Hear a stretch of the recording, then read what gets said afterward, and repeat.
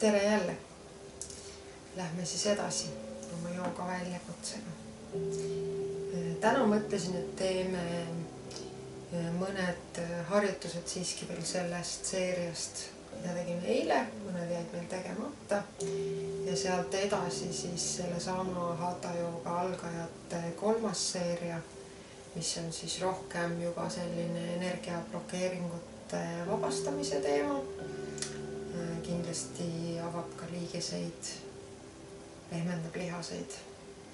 et lubasin sulle, et, et saad osa ka Changanist ehk siis sellest Hiina eh, kepijoogast tuleb homme Pille teeb, et kui sul see harjavars on veel varumata, siis jõuad veel. aga lähme siis kõigepealt tänase, tänase praktika juurde, et eh, alustame lapse asendis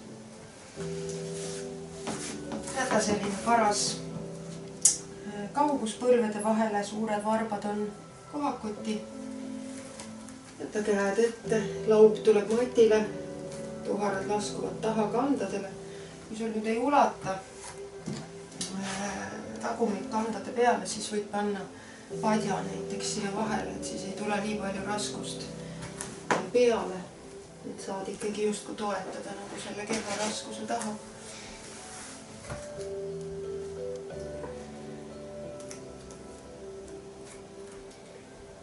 ja märka siis siin oma õlgasid. võid tuua käed justkui kõndida sõrmeotstel veel kaugemale ette, tuua käed hetkeks sõrmeotstele, aktiveerida siit ülakeha energiakanalid. hingamine on rahulik, kõht liigub reite vahel.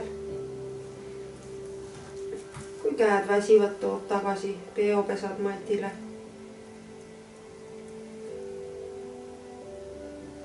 või lased lausa siit küünarnukid ka matile puhkama ja lõdvestud täielikult aeglaselt avaneb ka puus, vajud võib-olla sügavamalt, sulad siia mati sisse.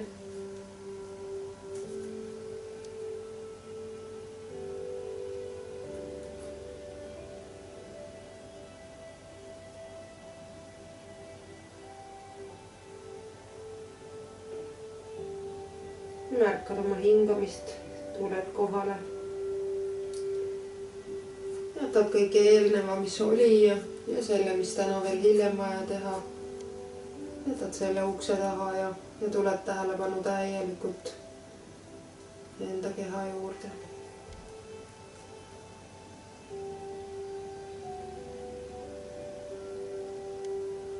ja tule siis siit neljale punktile ehk siis nelja käpukile. teeme pisut kõigepealt seljale sooja, mõned lehma ja kassi asendid sisse hingates selg läheb nõgusaks, pilk tõuseb üles. ja välja hingates kumeraks nagu kassiküür.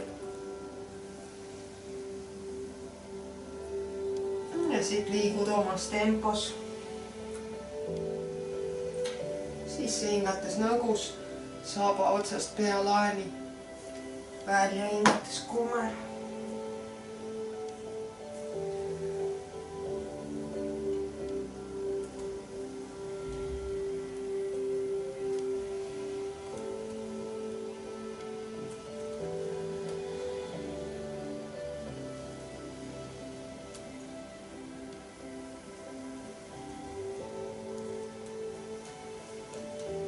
paar korda.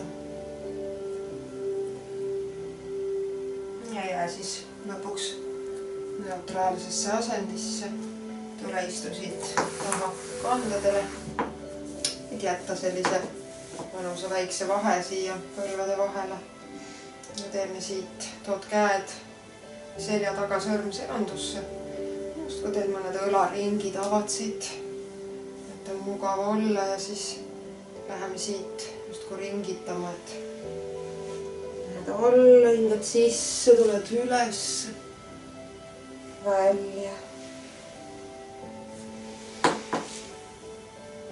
ja sama loogika, et sisse hingates nõgus, välja hingates kumerselg. käed on nagu abivahendiks. ja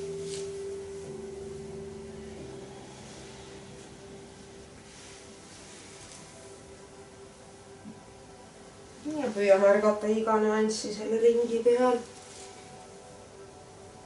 ja siis vahetad suuna.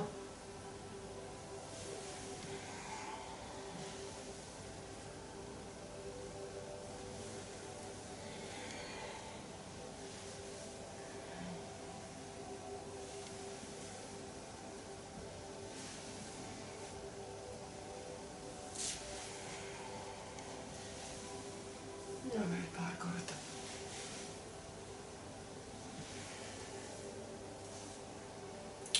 Ja too siis käed pehmelt sülle. märka siin seda neutraalset selga. lõug pisut rinnale lähemale. käed on pehmelt süles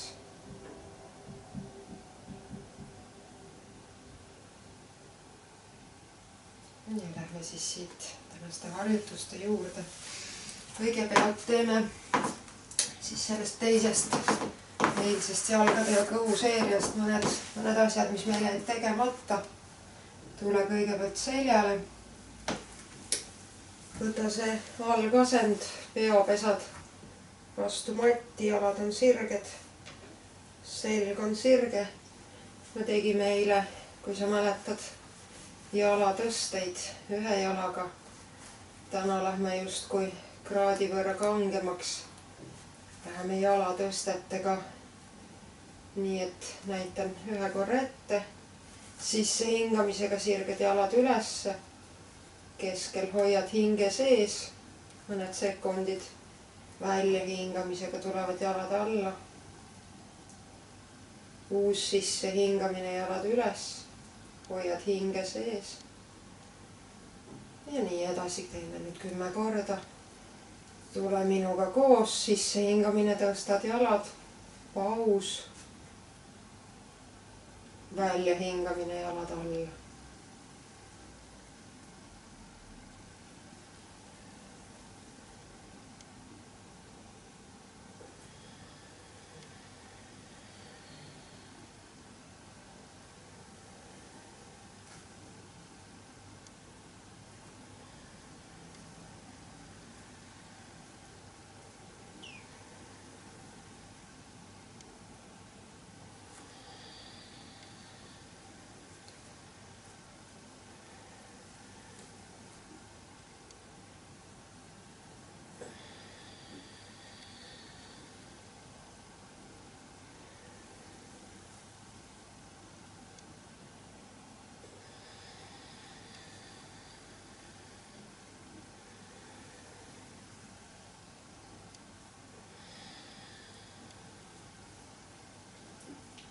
viimane kord, jalad ülesse.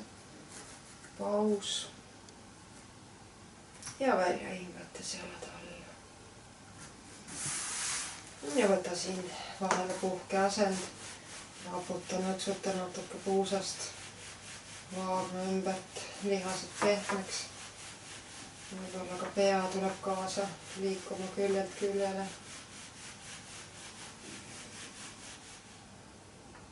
ja vahehingamised siin.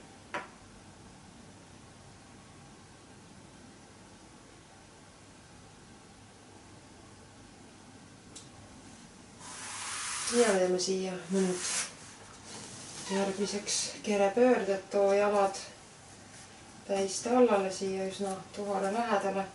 käed lähevad sõrmeseandusse pea taha nagu padjaks. hingame sisse ja välja hingates põlved tulevad vasakule. siis pilk läheb samal ajal paremale. ja sisse hingates tuled keskele tagasi. välja hingates teine pool. sisse hingates keskele. välja hingates teine pool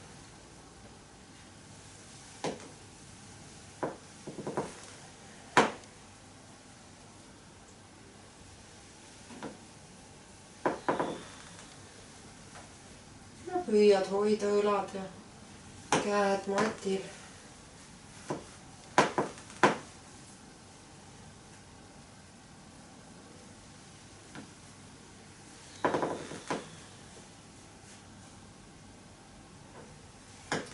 ja lõppasendis siis, kui kõlved on, on maas, siis väike paus enne sissehingamist, kui tuled üles sissehingamisega ja keskel. ja siis väljahingamine jälle alla. väike paus, oled täitsa tühi. sissehingamine ülesse. ja viimased kaks korda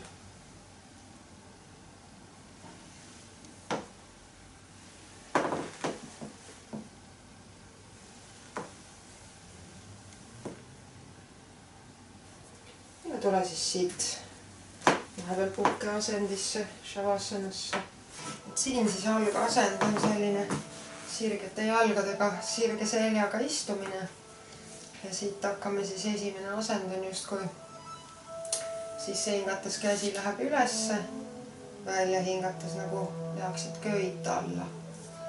ja, ja käed liiguvad siis eh, kordamööda, aga mitte ühe korraga. Ja välja.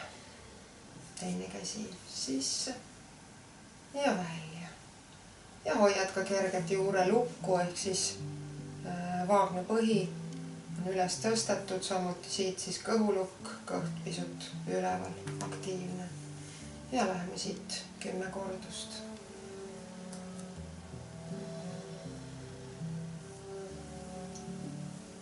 pilk ja tähelepanu on liikumise juures ja nagu liiguksid läbi vee.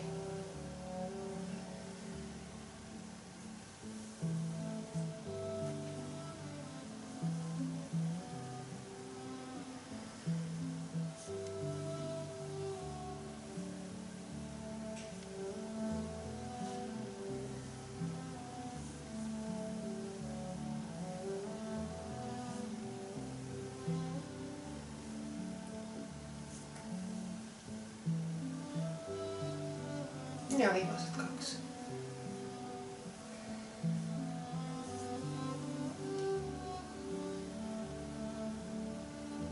ja võid tulla siit vahepeal pikali asendisse, lõdvestada lihased.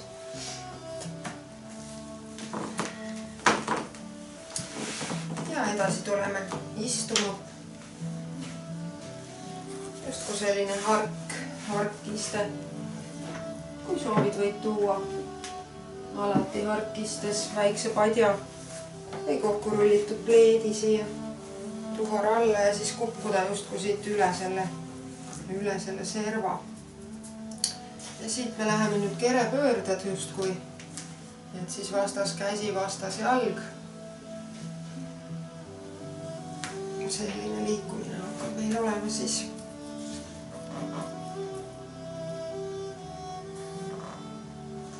ja siis hingamine, et, et see kerepööre oleks võimalikult efektiivne. välja hingates siis pöörad, sisse hingates tuled tagasi, välja hingates pöörad. vastas käsi, vastas jalg, avad seda tagumist õlga ka selja taha. ülesse ja teine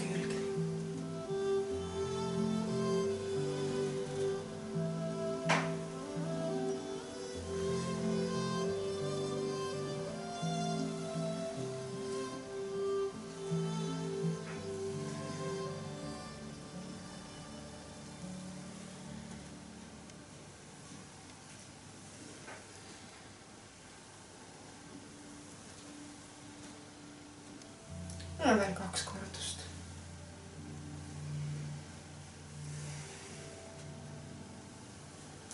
lõpetad keskel. ja siit tule siis tagasi sellesse algasendisse istuma. ja siit läheme siis nüüd mõnede sõudmistega, et võta käed sõrmseondusse ja hakkame siit liikuma päripäeva siis nii, et justkui puudutame mõlemaid var-, varbaid ülevalt poolt, tuleme suure ringiga taha. ja niimoodi liigume siis. ja ettepoole liikudes on siis sissehingamine, tahapoole liikudes väljahingamine.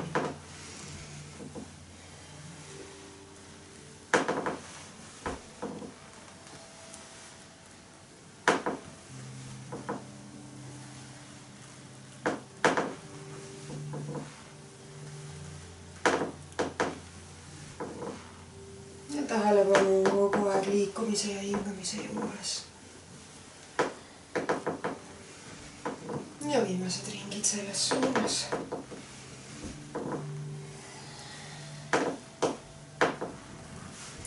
Ja keskel siis vahetame suunda vastu päeva. ja ikka taha liikudes välja hingamine, ette liikudes sisse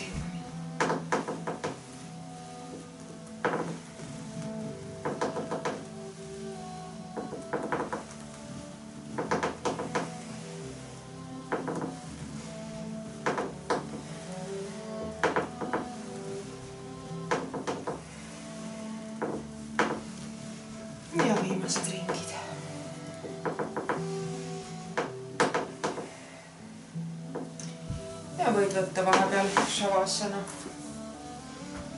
peopesad lae suunas. jalad kukuvad nendele mõnusal mugaval moel. tõstad selja alla paluud teineteisele lähemale, hingamine on vaba. ja lõdvestad siin kogu keha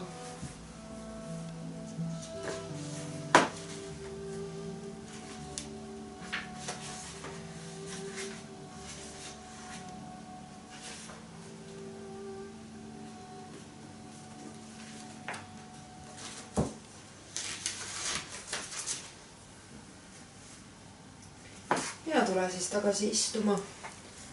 ja läheme oma sõudmistega edasi. seekord siis tulevad jalad kokku ja läheme siis ähm, peopesad on nii nagu päriselt hoiaks aerusid, sõrmed on allpool, käed on sirged, sisse hingates ette, välja hingates taha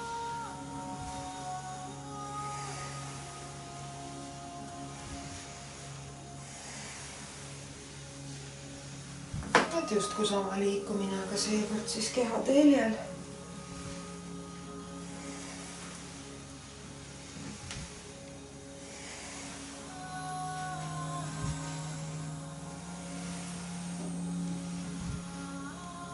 sisse hingates ette, välja hingates taha. ja veel kaks ringi selles suunas vahetame siis alt üles, ülevalt alla.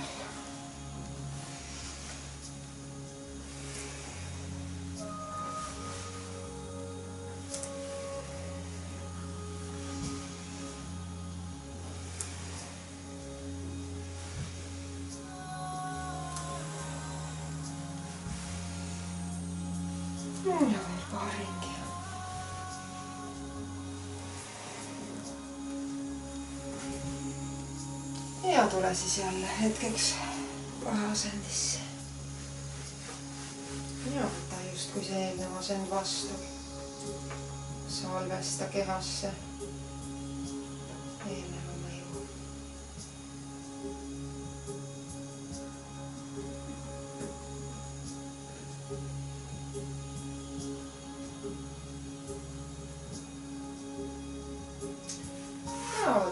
põlve ümber kinni ja võta end istuma. edasi tuleme siis täiskükki. selline paras, paras jalgade vahe. nii et äh, jälgi seda, et su varbad ja põlved vaatavad enam-vähem ühes suunas, et siis sa ei tee, siis sa ei tee oma põlve liigesele viga. käed toome sõrm seondusse sisse hingates ülesse, välja hingates ha, tulevad käed alla. ha, ha, ha, ha, ha, ha, ha, et veidi nagu tõstad. ja veel kaks korda. Ja siis jääd siia täiskükki. võid tuua siis äh, sisse hingates surud põlvi justkui teineteisest eemale. välja hingates tulevad käed ette, surud põlvedega käsi kokku. sisse hingates avaned, pikened välja hingates selg kumer, surud käsi kokku ette. Ja märkasin alaseljas seda sirutust.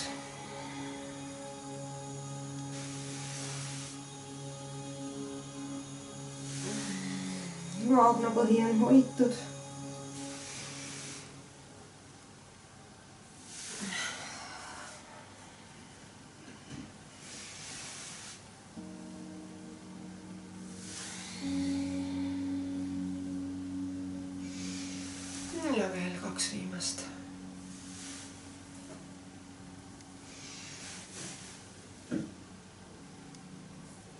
välja hingates üles, sisse hingates alla.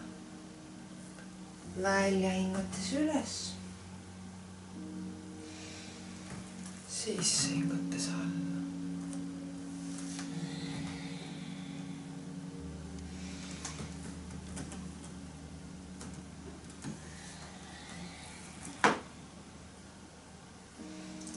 märkad jälle sedasama erinevust sisse hingates sirge selg, välja hingates kummer selg.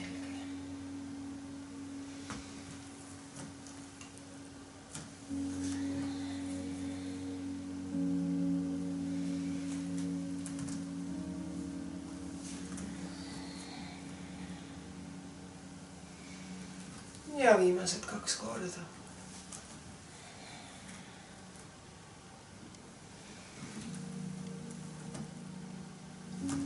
tule siis siit vaikselt potsti istuma ja mine seljale.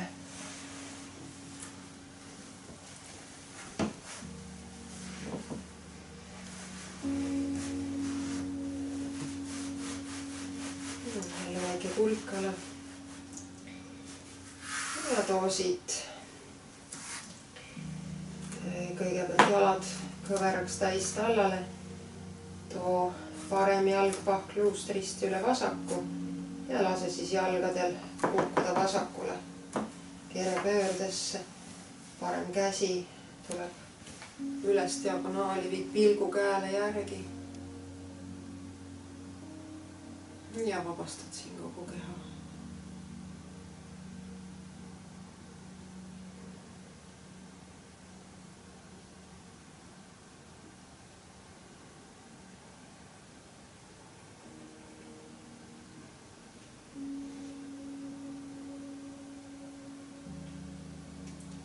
Tule aeglaselt tagasi keskele. too mõlemad jalad täis tallale, seekord vasak jalg risti pahkluust parema peale. ja jalad kukuvad paremale. ja vasak käsi diagonaalis. pilk tuleb vasakule käele järgi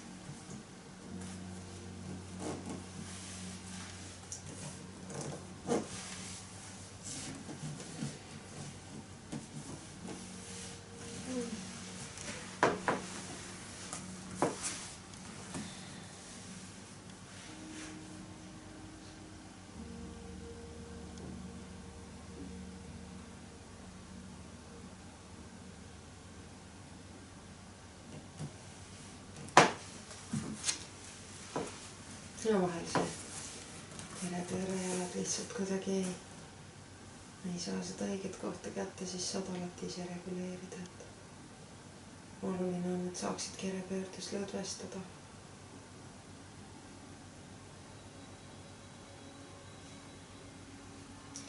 ja tule siis tagasi keskele. ja võta oma joogaplokk või, või padi, mis sul on. ja paneme selle tõstame jalad täis tallale asetame selle ploki siia ristluuplaadi alla. paneme täna kõige madalama kõrgusega, et selline hästi pehme, pehme pontoonsilla asend. puusaluud jäävad kõige kõrgemaks kohaks.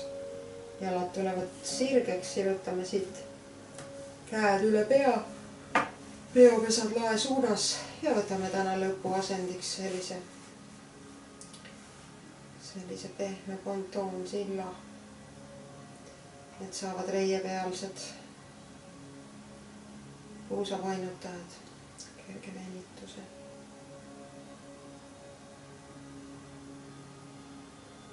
ja lõdvestad siin yin-joogale omaselt kogu keha. näolihased on vabad, hammaste vahel on ruumi. Silma välisnurgad kukuksid justkui matile. hingamine on täitsa vaba, kõht liigub iga hingamisega pehmemaks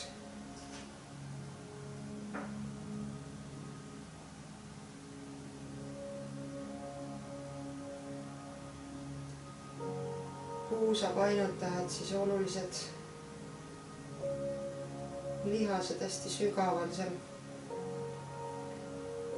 algavad selgroo alumistelt nimmelülidelt lähevad sealt mõlemalt poolt selgroogu alla läbi vaagna ja sealt siis kinnituvad alakehal reieluu peale õigemini sinna pöörlile. Ja seovad siis omavahel alakeha, ülakeha. ja tavaliselt sellistes tahapainutustes, kus siis see keha eesmine külg, siit see kubene piirkond saab venituse, siis siin puusapainutajad seal sügaval sees saavad ka jälle pikeneda, et, et kui me palju istume päeviti, siis nad jäävad lühikeseks ja ja võivad siis hiljem põhjustada selle tõttu ka seljavalusid, et see nende nii-öelda lahti, lahti venitamine on ülioluline selja tervise seisukohast.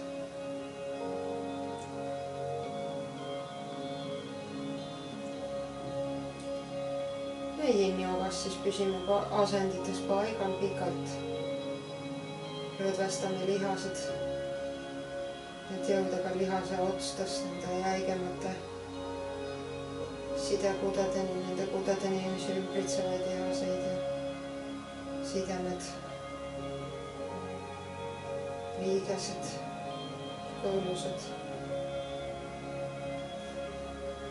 ja luud isegi. kindlasti ei saa me luudet mõju mõjutada, muuta aga siiski justkui survestada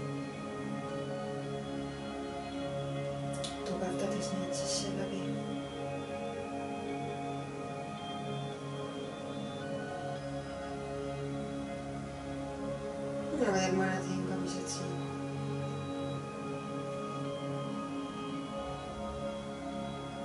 ja kui sa nüüd tunned sellist õrna niisugust magus, magusat venitust seal alaseljas, nimmelülide juures selgroo kõrval, alaseljas kus see nõgus osa on, siin taga, keskel, keskel, sügaval, siis see ilmselt ongi sinu puusapainutajate algus seal, mida sa tunned. aga too siit jalad tagasi täis tallale, sõelaks ja aita plokk ära aseta alaselg uuesti matile. võta hetkeks põlved rinnale.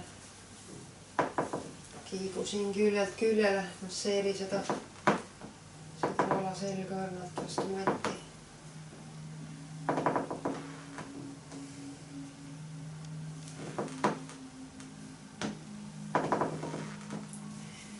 ja võta siis siin veel lühike lõpulõdvestus Shavassanas peapesad lae suunas.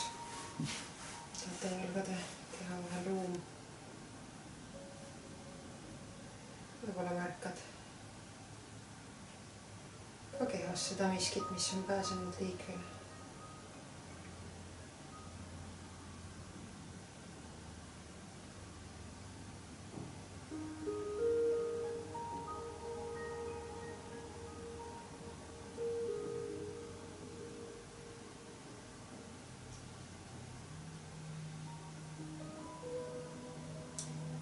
et vaid see lühike pooltunnike allutatuna nendele harjutustele ja iseendale. võib anda nii palju muud kvaliteeti tervesse ülejäänud. Kahtekümmet kolme ja poolde tundi päevast.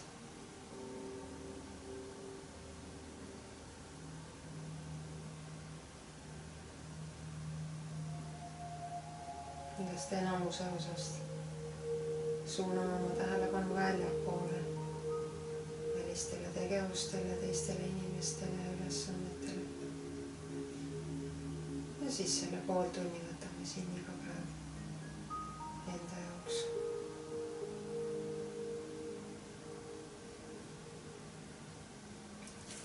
ja aita siis siit ennast läbi külje aeglaselt istuma. panna punkt ka tänasele praktikale. Istu kandadele või lihtsasse istesse, rätsepistesse, kuidas sinul mugavam on. käed on pehmelt põlvedel või süles. selg on sirge. võid tuua käed palveasendisse rinnale, märkad seda vaikust ja rahu iseendas, mis on alati olemas, mille juurde tuleb lihtsalt tagasi pöörduda. Kui ta käest kaob. aga võib-olla märkad ka, et mida tihemini jõuad siia iseendasse, seda lihtsam on hoida sedasama seisundit ka, ka justkui tormi keskmes olles. aitäh sulle. Namaste.